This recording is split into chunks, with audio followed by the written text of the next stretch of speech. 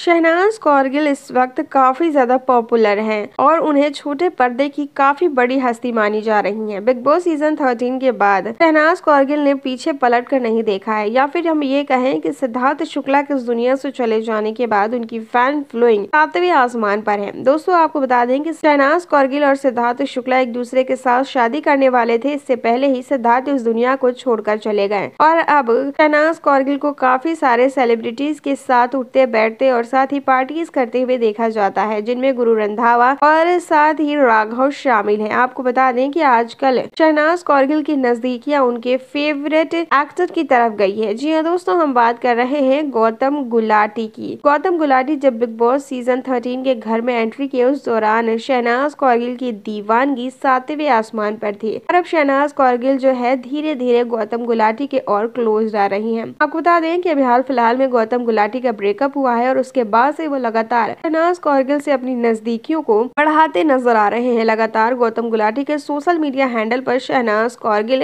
हर जगह छाई हुई हैं, जिससे फैंस ये अंदाज़ा लगा रहे हैं कि अगर शहनाज कौरगिल और गौतम गुलाटी की नजदीकियाँ बढ़ी तो कहीं न कहीं फैंस को काफ़ी अच्छी खुश खबरी मिलेगी। और साथ ही हम देख रहे हैं कि लगातार गौतम शहनाज कौरगिल के हर छोटे बड़े प्रोजेक्ट में उनका भरपूर साथ दे रहे हैं। बताया जा रहा है की वैलेंटाइन वीक में भी गौतम गुलाटी और साथ ही शहनाज कौरगिल को देखा गया था। इससे ये साफ़ होता है कि कहीं ना कहीं ये दोनों एक दूसरे को कहीं डेट तो नहीं कर रहे हैं। हालाँकि ये जो चीज़ें हैं, वो फैंस अभी सिर्फ़ अंदाज़ा ही लगा रहे हैं। दोस्तों, क्या कुछ कहना है इस रिपोर्ट के बारे में आपको? कमेंट के ज़रिए हमें अपनी राय शेयर ज़रूर कर दीजिएगा। एंटरटेनमेंट इंडस्ट्री से जुड़ी हर खबर लगातार सबसे पहले प्राप्त करने के लिए हमारे चैनल नॉलेज ट्विस्ट को ज़रूर सब्सक्राइब करें। इस वीडियो के माध्यम से जो कुछ भी इन्फॉर्मेशन मैंने आप तक पहुंचाई है, ये हमें सोशल मीडिया के माध्यम से प्राप्त हुई है। इस बात में कितनी सच्चाई है, इसका पुष्टिकरण हमारा चैनल नहीं करता है और न ही किसी भी तरीके की अफवाहों को फैलाना हमारे चैनल का उद्देश्य है। हमें अपना कीमती समय देने के लिए धन्यवाद।